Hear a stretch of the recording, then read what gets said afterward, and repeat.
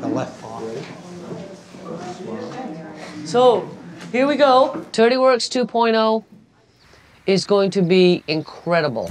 We are going to have our turds from coast to coast. Every household I want have turds in it. The original challenge was I had a great big toad up here with 9,000 turds in it, you know, and I had to make the business work, and finally it's starting to take off. Once I'm out on the road, I'm not going to be able to collect turds, I'm not going to be able to mail turds, answer emails, ship orders, I mean, nothing.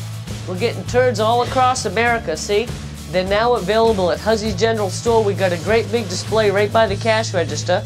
So I'm gonna need a whole team of people here to, to take my place and stuff to keep running. The production end is, is something that I'm working on right now, you know, and Dale, you know, maybe you can kind of put together a, a, another poop patrol and stuff and get on that. Katie and Elise, you guys on the marketing section. Tammy and Craig, you guys are gonna be pedal to the metal coming up this year with the clocks. But I'm gonna be going and asking help from the community as well. I'm gonna be offering some jobs real paying jobs. Because as the business grows, I'm going to need more and more and more help. And I wouldn't be able to do it without you, for real, I wouldn't. It would just be me, and I need, I need all of you to make this work.